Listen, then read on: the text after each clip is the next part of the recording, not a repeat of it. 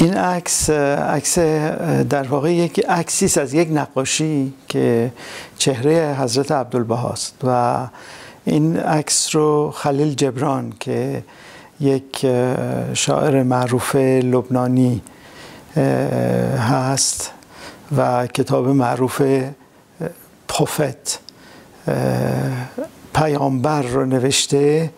و شاید خیلی ها در ایران یا البته در فرانسه خیلی معروفه خیلی ها میشناسنش این عکس رو کشیده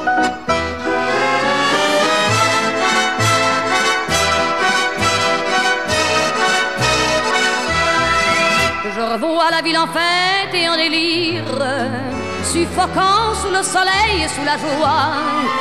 Et j'entends dans la musique les cris, les rires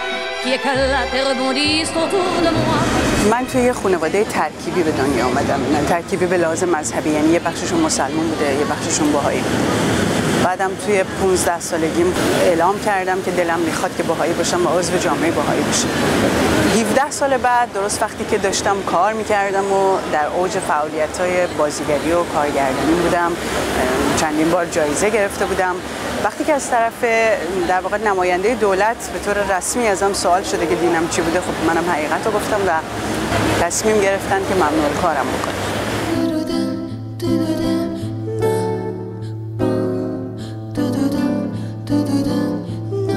اینجور مواقع من همیشه فکر می‌کنم که آدما در یک خلوتی دوباره میشینن مرور می‌کنن چیزایی که باهاش به طور خیلی عادی و طبیعی زندگی کردن.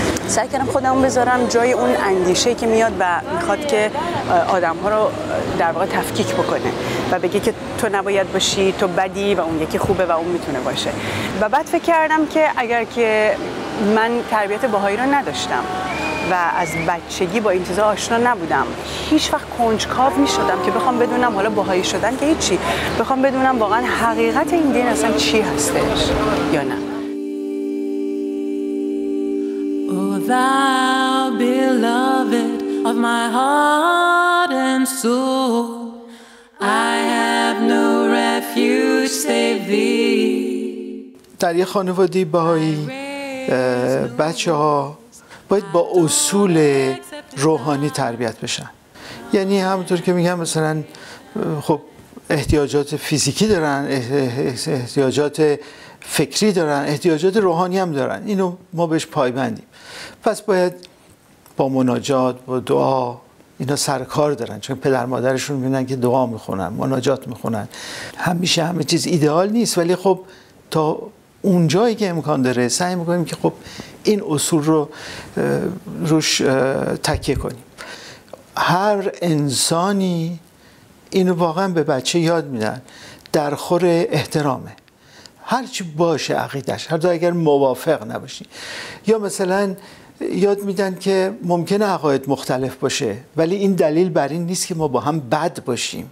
این بچه با این چیزها خوب پیدا می‌کنه. حالا ممکنه بعد 15 سالش که میشه خب باز این باهایات از آثار حضرت بحالا خب میگن میگن بچه در به سن بلوغ روحانی می‌رسه. یعنی به سنی می‌رسه که از نظر روحانی باید روزه بگیره باید نماز بخونه باید دعا بخونه مستقل میشه ولی مجبور نیست.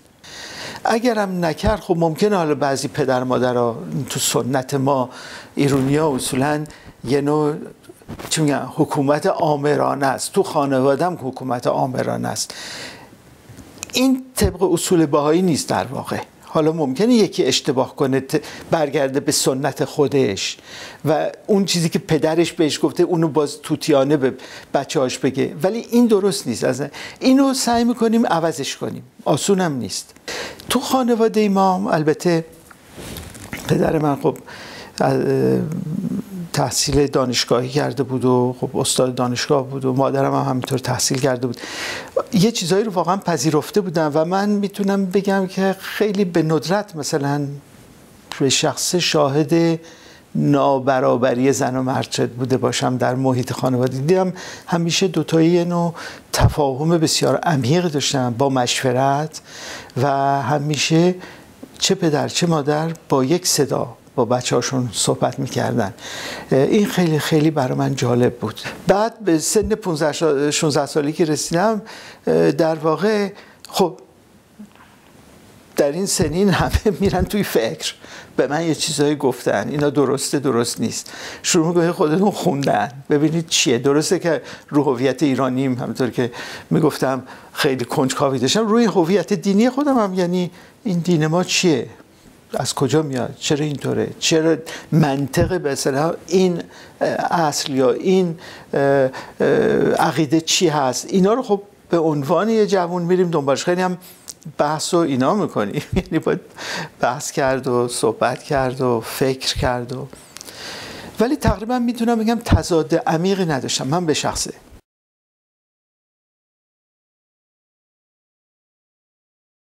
خیلی ها من می‌شناسم که چند برادر خواهرم مثلا یکی گفته من باهایی نیستم نمی‌خوام باهایی باشم و به این دلیل یا به اون دلیل مسئله نیست. خب روابط برادری خواهری دارن روابط خیلی دوستانه دارن با حتی باهایی های دیگه. ولی خب عقیده شخصیش باهایی دیانت بهایی نیست.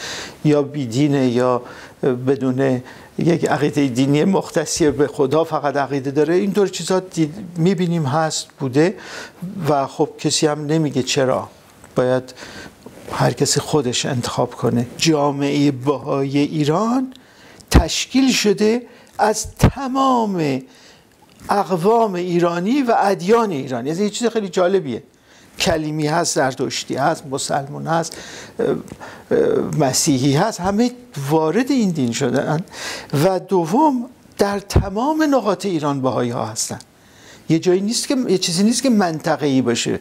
بگیم باهایی تو این منطقه یا تو از ایلات ایران باهایی شدن از شهرهای بزرگ باهایی شدن از خانواده های بزرگ اشرافی ایران باهایی شدن از خانواده های بسیار فقیر و ساده در دهات ایران باهایی شدن و وارد این دین شدن در طول این یک قرن و نیم. هرچند دولت به طور رسمی دولت لعیک است یعنی دولتی که مذهب به خصوصی نداره. ولی به همه این مذاهب می‌خواد احترام بذاره. حالا این مذاهب بخواد اکثری در اکثریت باشه در اقلیت هیچ اهمیتی براش نداره این مسئله. با اینکه این دولت از شاید یه قرن این من چیزش هست چی میگن؟ مرامش هست از یه قرن پیش. ولی جامعه در تحت هرچی باشه تحت نفوذ کلیسا بود. امروز خیلی مشکل میشه پیدا کرد. کسانی رو که بخوام برن دروس دینی بخونند و بیان مثلا نقش کشیش یا نقش جنینی در این جامعه بازی کنند. به طوری که مجبورن خیلی از این افراد رو از کشورهای دیگه بیارن مثلا از کشورهای افریقایی یا اینها. اینو دیدیم اینو شاهدش شدیم ولی متوازیان شاهد در ضمن تحولات دیگری هم بودیم. مثلا در جامعه امروز متوجه شدند که هرچند خدا رو می‌ذارن کنار یا بذاریم کنار ولی اصول اخلاقی رو نمی‌تونیم بذاریم کنار. حتی بعضی از خواسته های روحانی انسان رو هم نمیشه گذاشت کنار. این یه چیز خیلی خیلی جالبیه. و حتی خیلی از کسانی که اعتقادی به خداوند دیگه ندارند ولی به اصول روحانی که جز خواسته های انسانه این اعتقاد رو دارن. این خیلی بحث جالبی که پیدا شده. یکی از فلاسفه فرانسه که استاده به نام میشل سرف در فلسفه علوم خیلی کار کرده یه جمله خیلی جالبی گفته. گفته اگر سی سال پیش من از با دانشجویانم از سیاست حرف می زدم همه گوش می دادن و از دیانت حرف می زدم همه می خندیدن امروز اگر از سیاست حرف بزنم همه می خندن ولی اگر از دیانت حرف بزنم همه گوش میدن.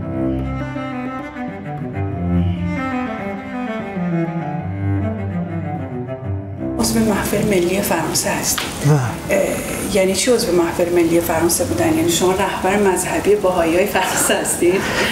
نه در در جامعه باهایی رهبر مذهبی به اون صورت نیست. در جامعه باهایی اصولا این سیستم پیشوا و به اصطلاح آخوند و ملا و کشیش اینا وجود نداره.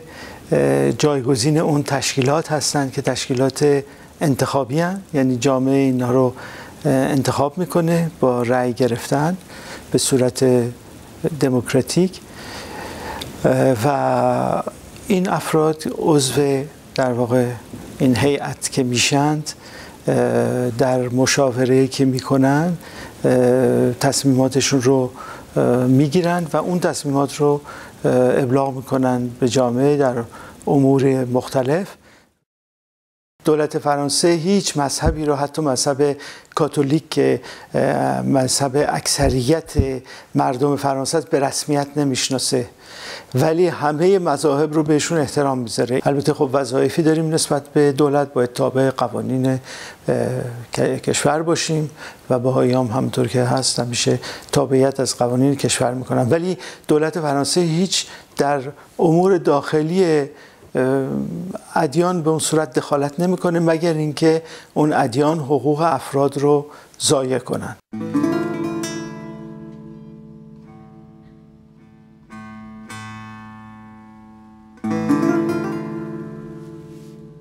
به هیئت یاران که اکنون هر هفت نفر بیش از سه سال هست که در زندان هستند این هیئت در واقع هیئت انتخابی نیست یک هیئتی است که به اراده همون افراد به عنوان کمک به جامعه برای به اصطلاح رتق و فتق امور روزانی این جامعه مثل مراسم تدفین و درمان و حتی بعضی امورات تربیتی واسه بچه های باهایی اینها رسیدگی می‌کردن که البته متاسفانه این هفت نفر الان در زندان هستن و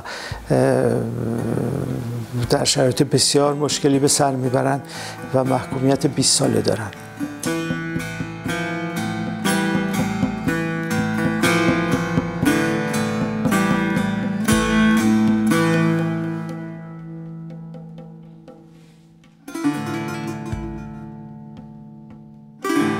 من فکر می‌کنم که اگه ما دنیا رو به دو تا رنگ سیاه و سفید تقسیم بکنیم خب خیلی کارمون ساده میشه به خاطر اینکه یه عده سیاهن و یه عده سفیدن و هیچ سوالی هم برامون پیش نمیاد و خیلی زندگی راحتی داریم تا تمومش کنیم.